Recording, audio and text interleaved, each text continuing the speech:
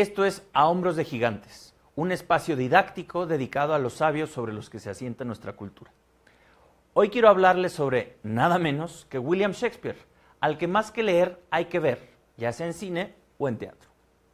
La época de Shakespeare, el Renacimiento, era un poco como la nuestra, un periodo de transición, donde el viejo orden medieval estaba transformándose en lo que sería el mundo moderno, en medio de numerosas crisis políticas, religiosas, económicas, culturales, ideológicas y artísticas.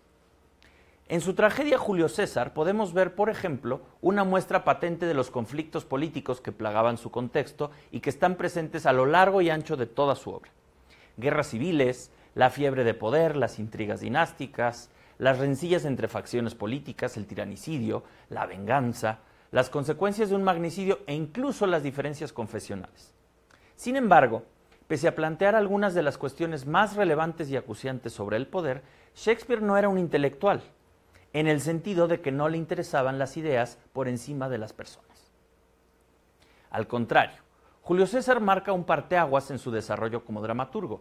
Según el crítico Harold Bloom, shakespeariano donde los haya, esta obra se incluye entre las que denomina las tragedias de aprendizaje, pues explora un nuevo lenguaje dramático que se aleja de la declamación oratoria renacentista típica para mostrar de manera más libre el perfil psicológico de los personajes, anunciando ya las grandes obras de madurez.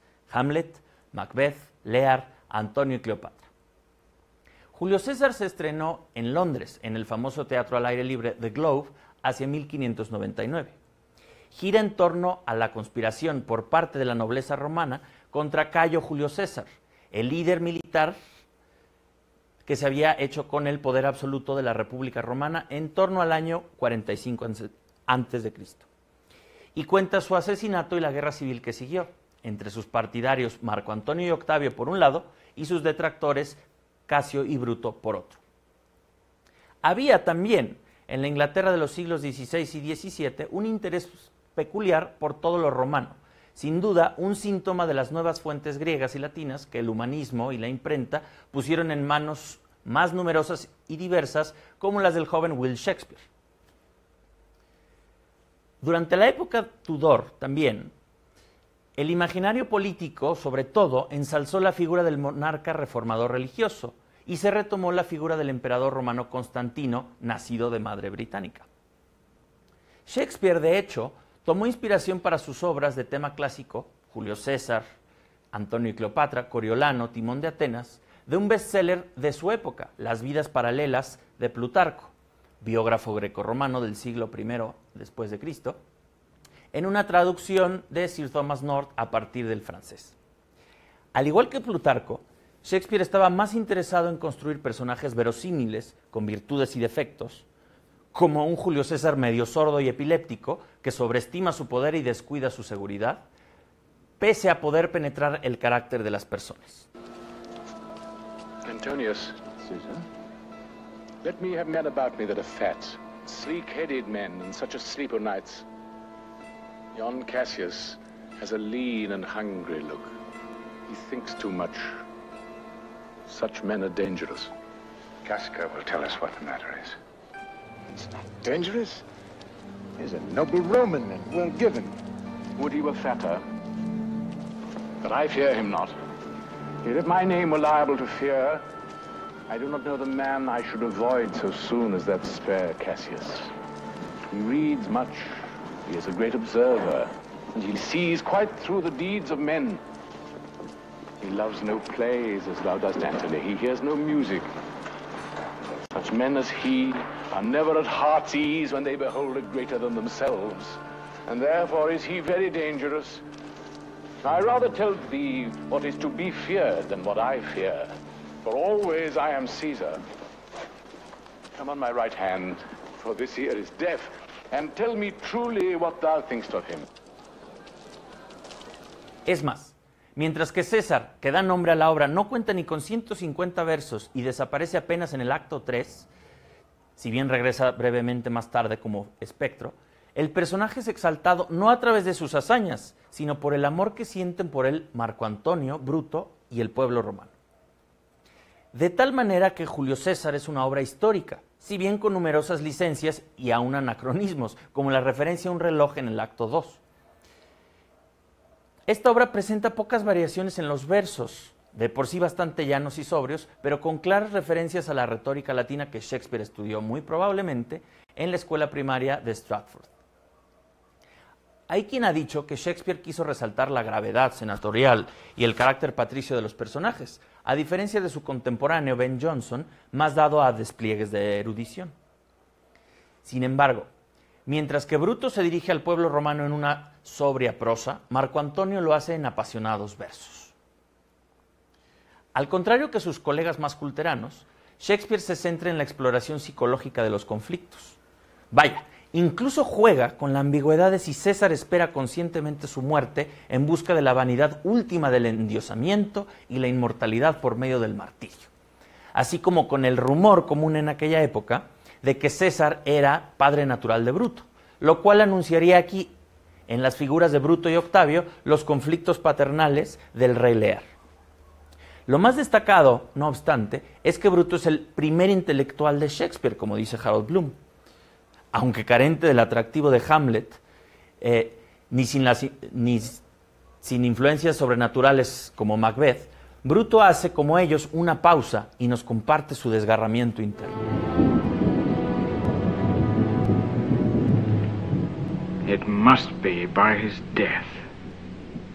For my part, I know no personal cause to spurn at him but for the general. He would be crowned. How that might change his nature, there's the question. For it is the bright day that brings forth the adder and that craves weary walking. Crown him? That?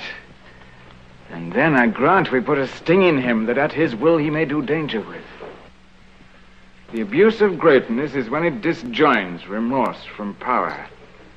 And to speak truth of Caesar, I have not known when his affections swayed more than his reason, but 'tis a common proof that lowliness is young ambition's ladder, whereto the climber upward turns his face, but when he once attains the utmost round, he then unto the ladder turns his back, looks in the clouds, scorning the base degrees by which he did ascend.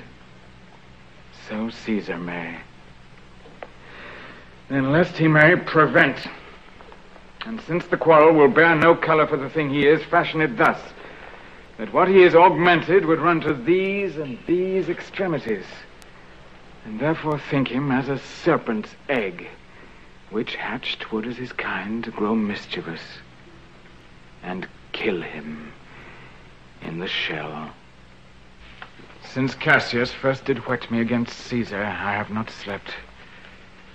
Between the acting of a dreadful thing and the first motion, all the interim is like a phantasma or a hideous dream. The genius and the mortal instruments are then in council and the state of man, like to a little kingdom, suffers then the nature of an insurrection. Shakespeare no deja pasar la oportunidad de tratar los temas relevantes de su contexto, especialmente la pregunta por la licitud del tiranicidio, que no solo era una amenaza recurrente para los monarcas y gobernantes de entonces, sino que estaba muy en boga en toda la Europa del Renacimiento, tanto en las discusiones de taberna como en las cancillerías diplomáticas y, por supuesto, en disputas académicas. Pensemos, si no, en que Lutero y Calvino o el jesuita Francisco Suárez escribieron todos al respecto. La pregunta es, ¿cómo tratar al advenedizo que se hace violentamente con el poder, pero que acaba ejerciendo ese mismo poder con destreza en beneficio del pueblo? ¿O cómo lidiar con un gobernante legal y legítimo, pero que se comporta como un tirano? ¿Cómo distinguir entre un ciudadano heroico que lucha por la libertad de un rebelde vulgar y asesino? No sorprende, por tanto, que en pleno 2017 una polémica puesta en escena de Julio César en Estados Unidos haya causado revuelo y feroces críticas. Y lo mismo hace Shakespeare con los debates acerca del bien común, la relación entre ética y política y sus contradicciones. Como siempre, la sombra de Maquiavelo permea la obra shakespeariana, como se aprecia gracias al contraste entre Bruto, que es un aristócrata idealista con las manos manchadas de sangre, y Marco Antonio, que es el defensor delegado filantrópico y popular de César, a la vez que un realista descarnado. Veamos si no cómo este último, a pesar de no carecer de sentimientos sinceros, no se trata de un villano como Ricardo III. Eh, es un hábil manipulador digno de las páginas del príncipe.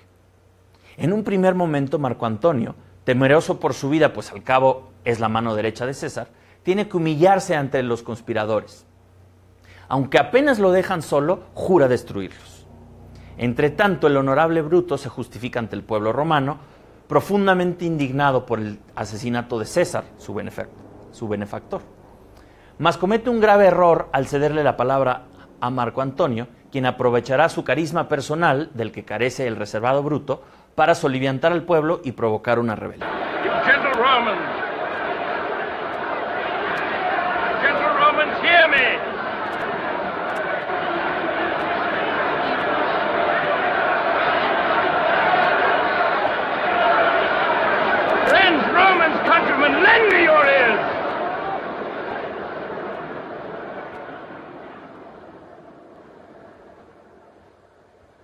Come to bury Caesar, not to praise him. The evil that men do lives after them. The good is oft interred with their bones. So let it be with Caesar. The noble Brutus hath told you Caesar was ambitious. If it was so, it was a grievous fault, and grievously hath Caesar answered it. Here the leave of Brutus and the rest, for Brutus is an honorable man. So are they all, all honorable men. Come I to speak in Caesar's funeral. He was my friend, faithful and just to me. But Brutus says he was ambitious, and Brutus is an honorable man. He hath brought many captives home to Rome, whose ransoms did the general coffers fill. Did this in Caesar seem ambitious? When did the poor have cried, Caesar hath wept? Ambition should be made of sterner stuff. Yet Brutus says he was ambitious, and Brutus is an honorable man. You all did see that on the Lupercal I thrice presented him a kingly crown, which he did thrice refuse. Was this ambition? Yet Brutus says he was ambitious, and sure he is an honorable man. I speak not to disprove what Brutus spoke, but here I am to speak what I do know. You did love him once, not without cause. What cause withholds you then to mourn for him? Oh, judgment thou art led to brutish beasts, and men have lost their reason.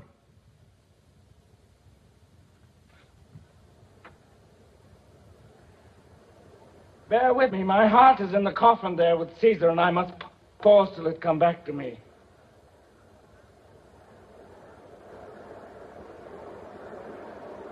Al final, el maquiavelismo de Antonio y Octavio, el joven sobrino y heredero de César, se impone al idealismo de Bruto y los rencores de Casio, que pierden la guerra civil y se suicidan.